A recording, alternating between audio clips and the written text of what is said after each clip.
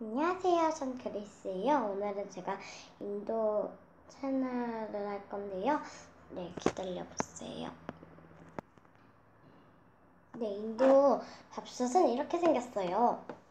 인도 밥솥은 이렇게 다 하고 나면 이렇게 밥. 우리 거는 어, 지금 밥 하고 난 상태거든요. 그래서 좀 뭐가 많이 묻어 있어요. 그렇죠.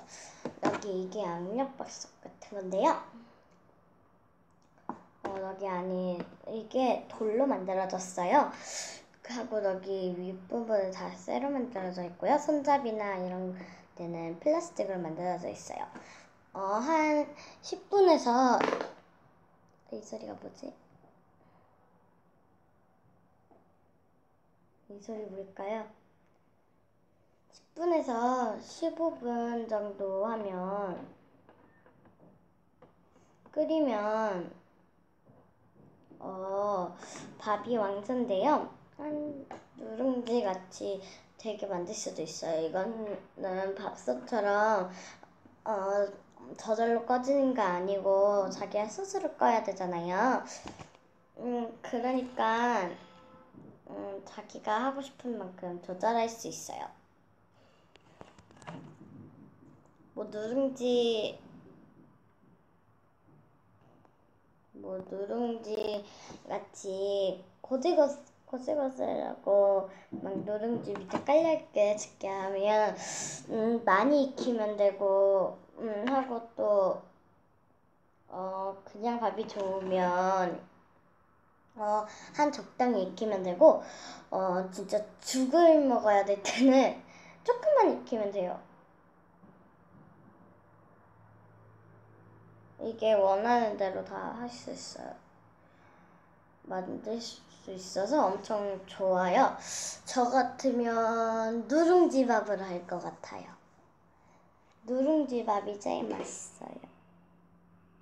누룽지밥, 누룽지를 좋아해서요. 네, 압력밥솥이에요. 어, 네.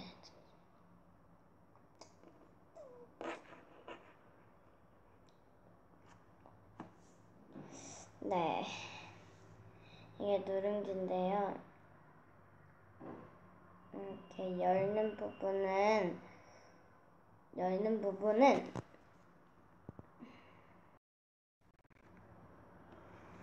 아유, 죄송해요. 네. 음, 네, 이렇게 돼 있어요. 어, 손잡이를 제가 보여드릴게요. 손잡이. 이게 뭘까요? 아, 죄송해요. 흔들렸네요. 네, 어, 이거 보여드릴게요. 여기 이렇게 손잡이 부분은 플라스틱으로 돼 있어요. 보이시죠?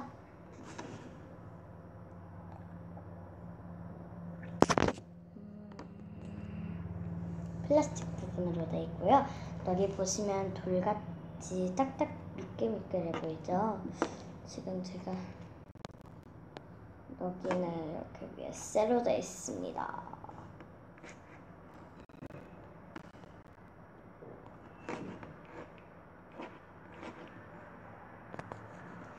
네, 이렇게 어, 된게 압력 밥솥인데요.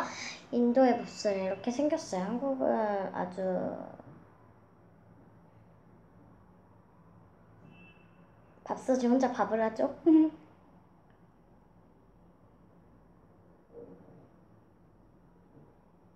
이거는 음, 아 하고 인도밥은 음, 물을 아주 조금 넣어야 돼요. 한 한 가닥 정도 넣어야 돼요. 한 이 정도만 물이 차게 물을 이 정도 넣어야 되고요. 음, 한국밥은 그래도 물을 많이 넣어야 되죠. 하지만 인도밥은 음, 아주 조금 넣어야 돼요. 밥을 아니 물을 물 조절이 안 되면 어, 많이 익혀 또한 15분 정도 익혀도 어, 밥이 누룽지 밥이 안 돼요. 어, 물밥이에요, 그러면.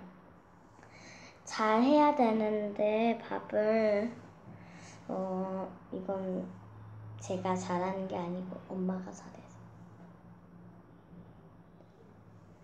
제가 밥을 할 일이 없죠. 엄마가 해주는 거죠. 네, 하지만 전 그런 정물들을 찾아봤어요. 우리 집에 한약밥솥이 있어서요.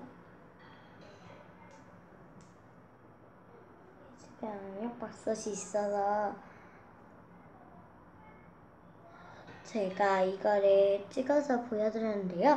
하고 유튜브로 많이 찾아 아니 유튜브가 아니고 네이버로 찾아보면 인도 밥솥이라고 쳐야 되나? 하여튼 음, 음. 네, 하여튼 이거는 되게 좋아요. 네, 밥이 되게 맛있게 돼요. 하고 인도 밥은 되게 끈적끈적하지가 않아요. 하고 길쭉길쭉하게 생겼어요. 인도 밥이. 음.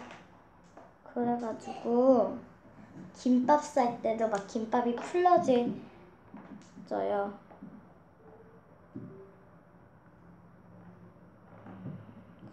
아 어떻게 목걸이가 걸렸어요. 됐다. 네. 김밥이 다 풀릴 정도로 끈끈한 게 없어요. 아예 없어요. 근데 아예 끈끈한 게 없거든요. 근데 햇밥은 아주 끈끈하죠. 네, 오늘은 제가 인도의 밥솥을 알려드 소개시켜 드렸는데요. 재밌었나요? 그러면서 다음번엔 더 재밌는 이야기를, 아니, 더 재밌는 조사를 해볼게요. 그럼 안녕!